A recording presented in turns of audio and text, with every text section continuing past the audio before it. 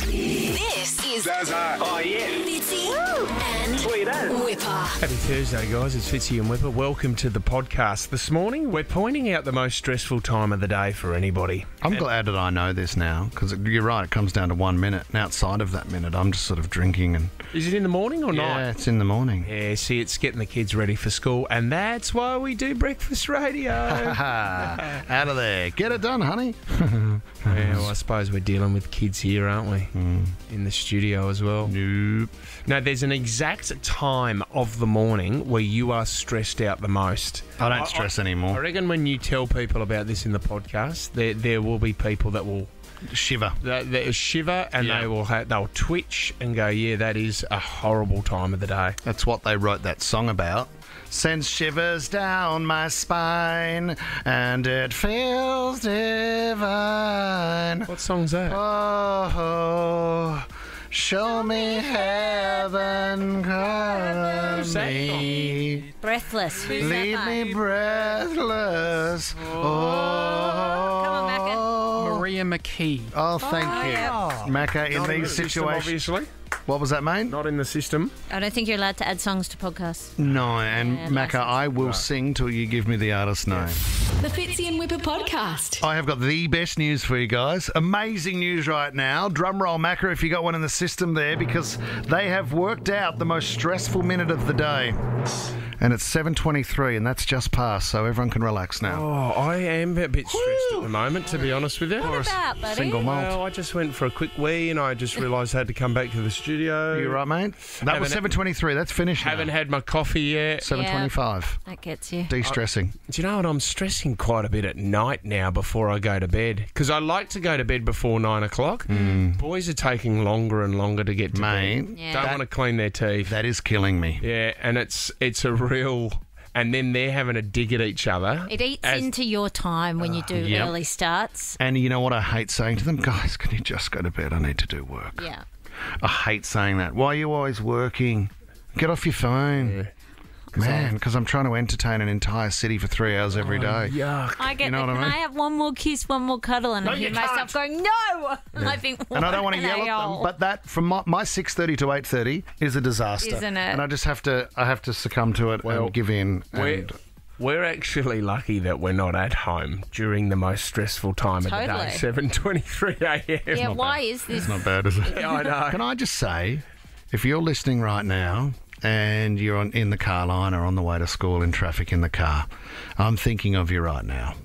I'm talking to you and I'm thinking of you because research says it is the most stressful thing to do in your life during that time. Yeah. 723, often the school drop off is the most stressful. There's nowhere to park, they might not have a Yeah. drop off line, and it is a fight. And Do- it's ugly, and maybe your kid is crying and you feel like you need to find a park to walk them into school that day, but it's impossible because there's only eight car spots.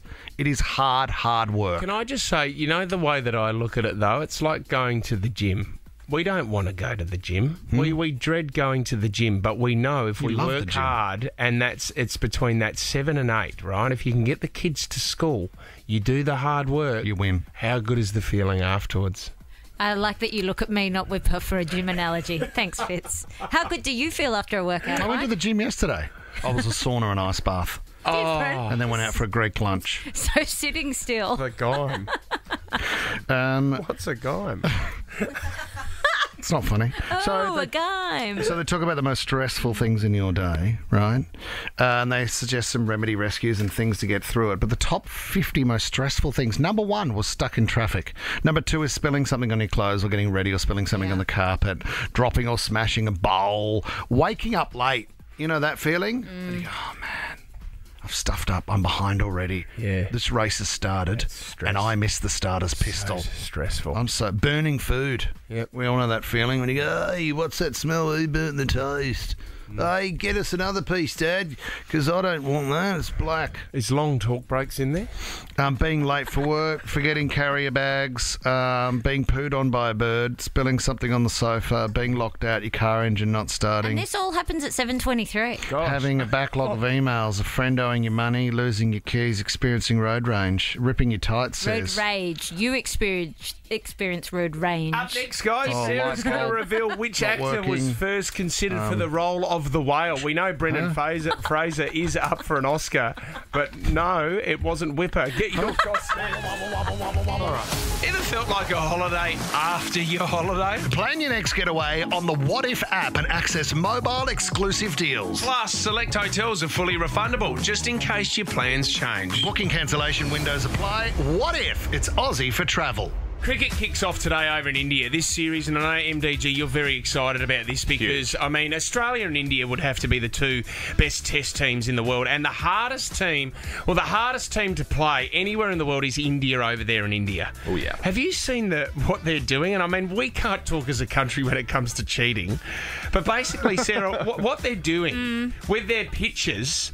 This first test on the pitch, they're not watering a certain section of the pitch because we've got so many left-handers in the team. They want to harden up. Well, they're going to harden it up Yeah, so so, it cracks bounces. and the ball spins a lot more and Yeah. gets all our left-handers out. like they're not watering it and they're not rolling this one area. Like it's so blatantly obvious what they're doing. You can't do that. Yeah, but you, but both just not teams, cricket. both teams have to face the same conditions. So Yes. is it really? I mean, Pat Cummins has said that they're not buying into We- the politics of this. They're just going to get out and play. We have seven left-handers in the team. They have two.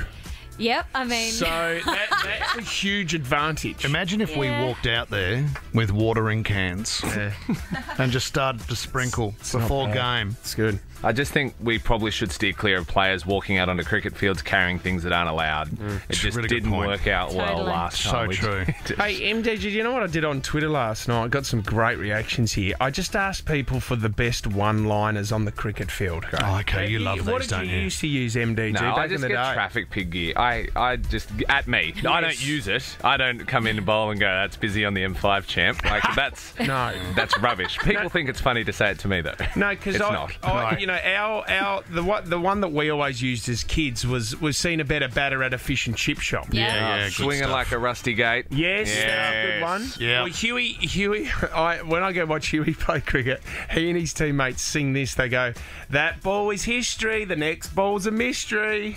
Oh. oh cute. Good. I used to do a bit of Here we go. your mum's your sister. What? No, no, that's got nothing to Your do. Your mum with and dad are cousins. What's that got to do with cricket?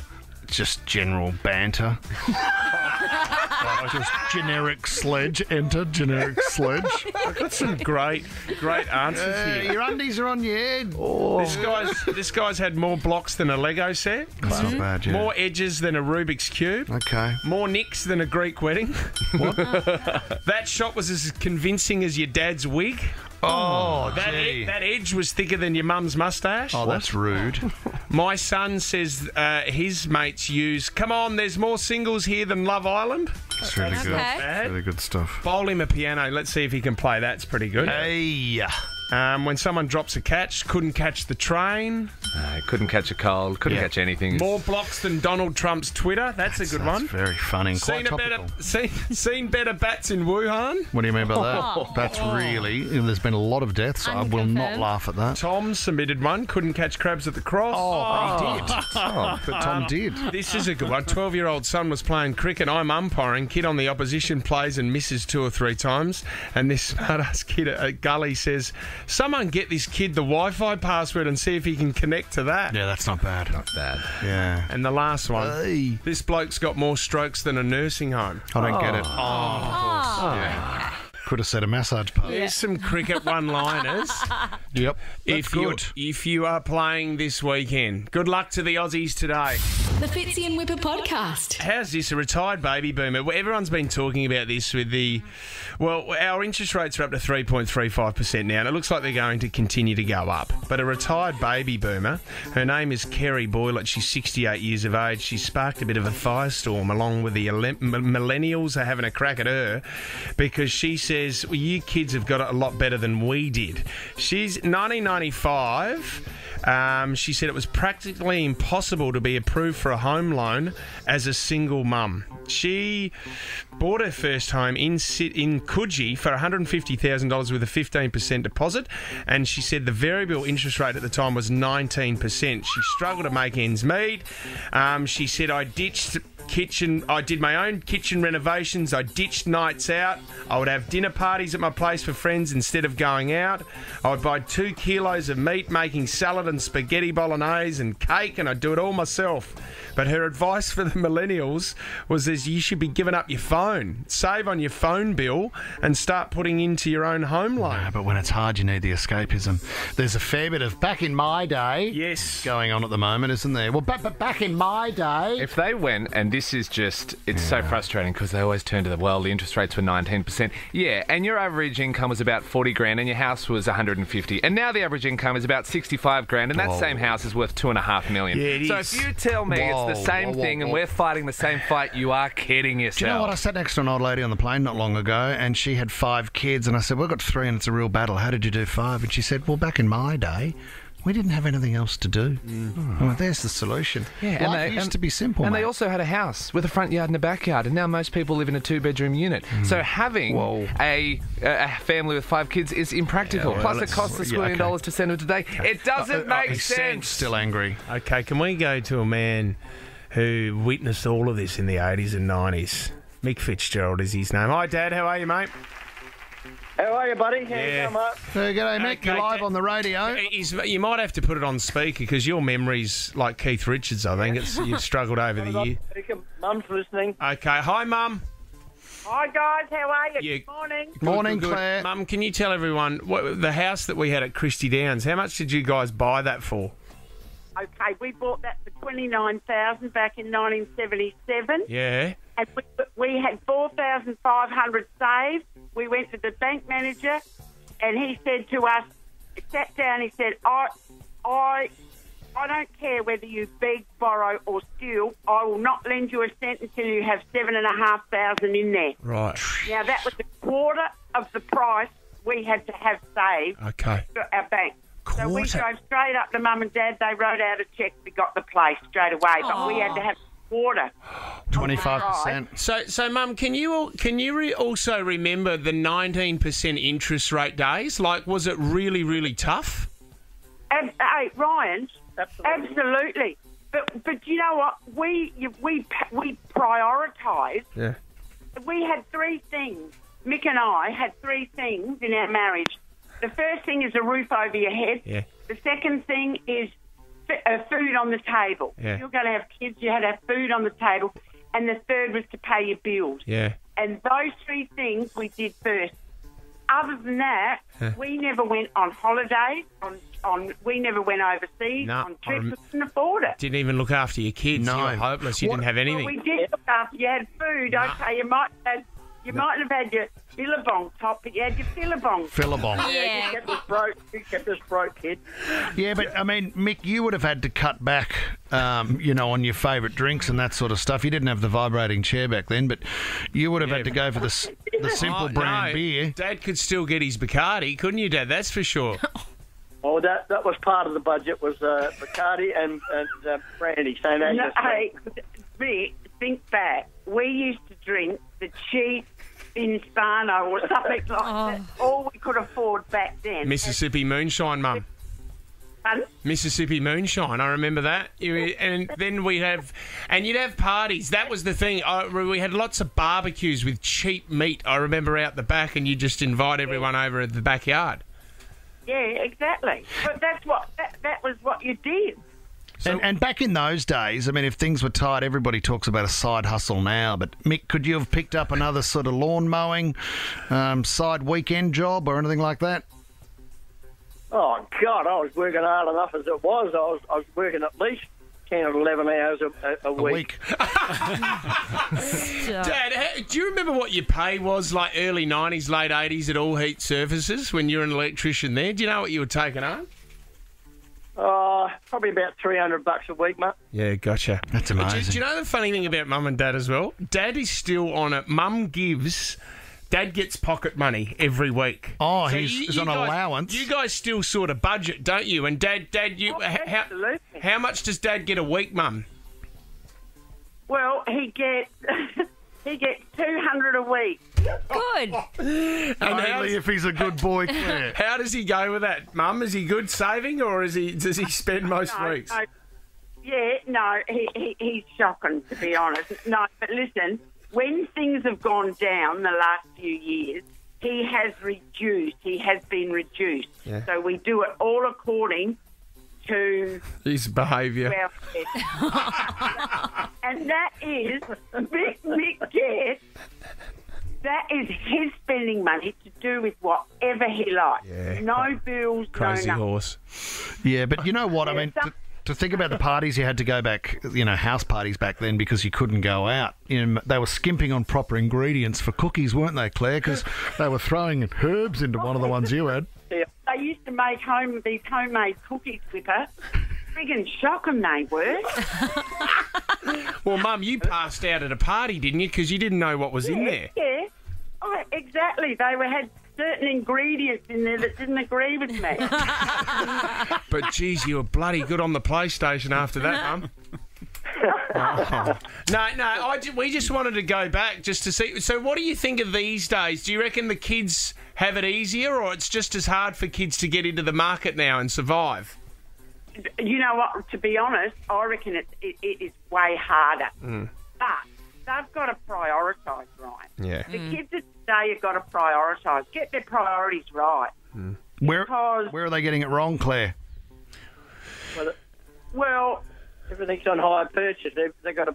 And they go in way too deep with us. Mm. Yeah, debt, you know, yeah, debt. Things that they don't. We always had a bit of savings as well. We always had a bit of money, a little tiny bit here and there, yeah. that we could save, so that if hmm. something really drastically happened, well, you've, you've got a bit behind you. But and but you know what? Sometimes I do blame blame the banks because they shouldn't lend out. Some some some of those banks don't even lend out or are lending out 100% cents. Yeah. yeah People don't dangerous. need a deposit for hundreds of thousands of dollars. Mm. You get one thing go wrong or a marriage breaks up or whatever. Yeah, you're in trouble. You're in trouble. Uh, we should do a weekly finance segment yeah. with Mick and Claire. Yeah, they're on fire think? today. It's amazing Mick's been able to keep his Playboy subscription going from the 70s. Dad's... Be- Dad's, Dad's two bought coffees a day and a sandwich. That's all he gets. That's all he can squeeze into the Well, $200. yeah, well, I know Dad's buried a lot of money over the years. We're just trying to work out where it is. And don't Trouble worry. is, I- where I where I buried it. Yeah, exactly. well, thanks for coming on. Thanks, guys. Really appreciate your finance advice. Everybody's depressed now, are they? Thanks, Mick. Thanks, Claire. Tommy couldn't get Kochie on or any of the No, other, no, waiting on Kochie to call me Get back, guys. other financial advisors. needs- We're Who needs really Kochie? scraping the barrel there. You said you we had the barefoot investor coming on, Tom. Literally, Mick threw his thongs Scott off for the Pape chat. coming up next. Oh, no. Nope. Mick and Claire Fitzgerald. Wow. on next. The Fitzy and Wippa podcast. Love to know what the name of your team was. Maybe it was a community team, maybe it was a work team. You got a few mates together and decided to take on the local comp, and no doubt you had a creative team. What was the Nova team you had, made in Adelaide? Vaginas. Vaginas, yep. Um, there was five of us, five guys in a social basketball team. That's nice. the Nova Ginas. And um, we also had a basketball team when I was younger because it, it was the Adelaide 36ers were big in South Australia, but we were the Adelaide 3.6ers. That's not bad. When we were kids. Sort of junior. Yeah. That's really cute. Uh, I thought that was a good I one. really like that Because one. we were sort of the, the mini version of Yeah, yeah, yeah. You I got get- it. Certainly Yeah. You got know what I mean? So Yeah. because it's the 36, 36, and then I- just put a yeah. decimal point in And the I'm the middle of point three. Clever. Um, I remember a mate of mine had one, and they were called NBT. Not bad, thanks. Hey, how's it going, NBT? Why wouldn't you just call it not bad thanks? I don't know. They just shortened it. Not bad, thanks. But then you have to keep explaining Yeah, you it to do. people, don't you? Yeah. The joke's lost. It wasn't so much a team name, but the Canberra Raiders cheerleaders used to be They're a team, mate. sponsored by the Hog's Breath restaurant, and so they'd be welcome out the Hog's Breath Raiderettes, and then on the way out, give it up for our Hog's Breath girls. And I'm like, oh, just such a disappointing. I mean, you take the money. It's better than morning breath. Hog's breath girls. How good are our Hog's Breath girls? All right, cheer out the hogs, guys. That is unbelievable. Yeah, it wasn't- it wasn't Doesn't fit, bad. does it? It's not the perfect fit. Not the one you wanted. Yeah, check out the curly fries. Uh, 13, 24, 10. Love to know what your sports name was. Uh, the two. Uh, let's talk about the live tour. Cam Smith, the golfer, right? Can you believe that, for one, he's getting a hundred million sign on? Like a hundred million dollars to sign on to play in this comp. Live, yeah. And then he's going to make more money, guaranteed prize money, as the comp continues and the tour continues. Yeah. I mean, I know there's controversy around this competition. He's, I would suggest that 99.9% of people would sign on for $100 million. Oh, second to that, no, if well, look- that's incorrect because the majority of the golfers well, have golfers. I'm talking about the average man. Oh, right, yeah. Well, you, you've got to be good at but golf. second to that, right? Second to that, if you're worried about it, why doesn't he come forward and go, hey, guys, out of that hungy, I'm going to give $50 million. I'm going to take $50 million of their money and give it to charities that need it here in Australia. Yeah. For those that, that don't get why it's controversial, so the LIV Golf Tour is backed by Saudi Arabian money and obviously the human rights issues. And so a lot of people are going, hey, you already make a couple of mil over here. You're mm. now taking $100 million of dirty Arab money. And they go, well, yeah, but it's a 100 million. Yeah, but just offer a little bit back over here and say, hey, let this is good business because I can take it from them uh, and put it into this great nation. anyway, Give him a call, see how you go. yeah, with it. Will, he's come up with a name for his team. And have a listen to this. Hey, it's Cam Smith. Welcome to Ripper GC. It's just Ripper, mate. Ripper GC, Ripper Yeah, Gold golf Coast? club. Golf, Oh, ah, golf damn. club. Oh. Yeah, Gold Coast. Not Rippers Golf. I- Rippers Gold too. Coast. Where do we like to party, guys? Rippers GC. I think it's Ripper Golf Club. But he's just wanted to Australianise it It's not and go with Ripper. Ripper's a How are things, one. mate? Do you like Ripper more or Belter? Oh, Belter. Belter. That was a belter. It was a ripper night or a belter night? It was a Belter night. Belter night's Yeah. better. But isn't it great that it seems to be that we're going back to the basics of celebrating Australian things like Bonza? So Bonza, the airline that launched during the week, Bonza, we got that grab in the system, Tommy, of Bonza. They've got three planes that are operating at the moment. Uh, have a listen to this. This is a bloke who went on the inaugural flight for Bonza Airline. Listen to the names of the planes.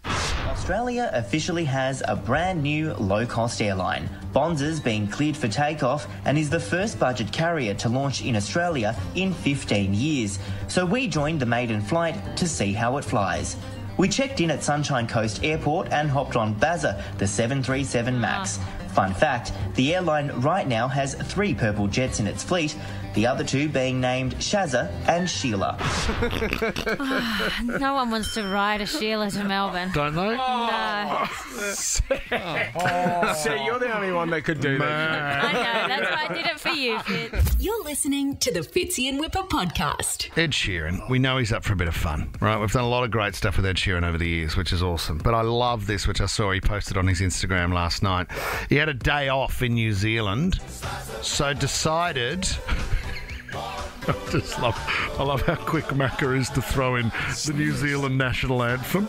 Dave Dobbyn's back, everybody. So what's our Australian song? Land Down Under, I suppose. Well, it would be or. Um, John Farnham. John Farnham. Yeah. Nah, no, people don't. Horses? People around the world don't play You're the Voice. Do you know what they play? Your, they play "You're the Voice" in the UK as the last, the last song in the pub. They would play Land Down Under Men at No, they Work don't. before they play this. This is the last song. Everybody oh, you knows put it's there? closing time. All my mates in London say this is it. They cry as they walk home drunk, missing the homeland. I know, John. Um, I was sitting there when Oh, yep. when the Chili Peppers were deep in their new stuff. Going, every major concert in Australia, every band that comes should have to do a cover of You're the Voice somewhere in their set. oh, interesting. that's a massive every call, show. mate. because John can't anymore. So everyone who comes to Australia Oh, you have don't, to you do You're don't know, Voice. mate. It's like paying a tax, is it? Yeah. Still If you want to recovering. perform If you wanna here, you have to just- pay the tax. Just three minutes of You're the Voice and then back to whatever you want to do, Chili's. Can we have a listen to what Ed Sheeran did yesterday when he uh, decided on his day off to drop into some schools? Have a listen to this. On a day off in Auckland, and I thought we'd come to some schools and give some kids a surprise with a free gig.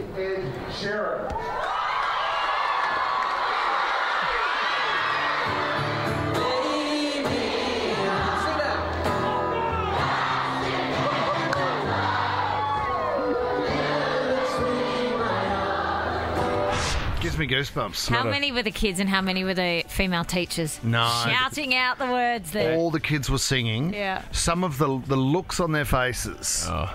When he comes out after the principal said, I've got, Cute. I've got a surprise for you today, guys. Ed Flax- Sheeran. Flaxmill Primary School had Mark, chairman of the boards, Davis from the Adelaide 36ers. Oh, yeah. Probably up there with Ed Sheeran, I That's would not say. bad, is it? Yeah. Tommy, we should say to Ed Sheeran, Yeah. "Have you got a day off, let's hit the road. So let's go to as many schools as possible. That's what he wants to do on a day off. Well, that's what he just did on his, his day off. No worries, Whip. So what, Thanks what we for the do? call, mate. I'll give, uh, you there, Whip? Sorry, mate, you're breaking up. I'll give Ed a call this afternoon. I'll say, big guy, Oh, gee. mate, when you land. yeah. So then we can go to maybe one, two, three, four. Let's get a bus. We'll get some beers on the bus. And then Oh, God. it's another pub tour. It's a school tour. The schools can register, but they don't know whether we're going to turn up. Oh, oh that's imagine amazing. that. And the bell goes, Yeah. everybody to the assembly hall, please. Yep. Ladies and gentlemen, Ed Sheeran. We couldn't get Ed Sheeran, but we've got Wippa. I'm a Buckhand Bronco and I can come Bronco. Oh. They'd all be singing. You can only do this if you're a tier of seriously famous. Imagine if you said to your mate, "What are you doing on your day off?" And he goes, "Just going to go and surprise a primary school." Oh, call the cops immediately. Can't do that. Oh, man. Just hanging out with Tom in the bush. Oh, all right, mate. Because it said it's okay. The Fitzy and Wippa podcast. Lights, camera, hilarity. Trending stories in entertainment. Brendan Fraser, who is up uh, for the Oscar for Best Actor for his role in The Whale, he is up against Austin Butler, who is obviously up for Elvis. He's defended, you know how everyone's sort of ripping into Austin a little bit for still sounding like Elvis and behaving a bit like the character. He has defended his uh, Austin's dedication to the role. I can understand what he's challenged with when you really commit to a role. Because I'm guilty of wearing cowboy hats long after I stopped playing cowboys. So, You've done this. yeah, I know the Yeah, deal. yeah. You know, you invest a certain amount into it and you take it with you, and then it worked for you, and then you want to hang on to it. I, I don't Well, know. after that's- Encino Man, I believe you ran around as a caveman for That's three right. years. Isn't that correct? Correct. Yes. yeah.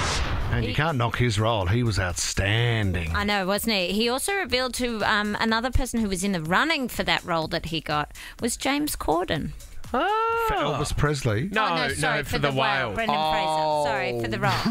yeah, that would have been very different. Maybe at the end, but not at the Sorry, start. you're talking. Yes, Austin Butler was incredible as Elvis. Yeah, that's sorry. Brendan Yep. Fraser in the Whale, which everyone is raving about. Uh, James Corden was apparently also up for Right. that role. Who's seen the whale? I don't think it's out here No, yet. it's Right. not. But No. i i everyone is raving about it. I had a friend who went and saw it and said, "Oh my gosh, it, this is Okay. an amazing." I saw. Whale Rider. Wasn't Very bad. different. Show out of New Zealand. show. It's Yeah. about an actual whale. Um, so is this about a whale? It's Or about a like man struggling with obesity.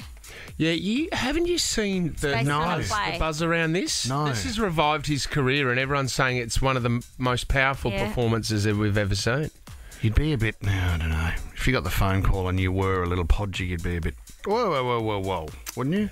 Well, he had to put on a lot of weight for the role. He's a taller bloke. He's not large, but James Corden, I can see the link.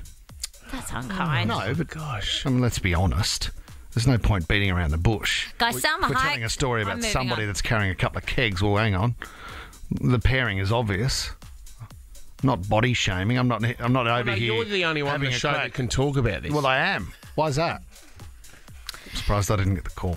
Now I'm moving on. Salma Hayek has revealed this awesome story. So, how about this? She married her husband 13 years ago, but she had a real phobia of marriage. So, she said on this day, she didn't know she was getting married. Her parents and her brother came and picked her up in the car, took her to the courthouse where the, her now husband was, and they all pretty much forced her to get married. She said it was like an intervention. She said she wanted to be with him for life, but had a real fear of doing the actual marriage.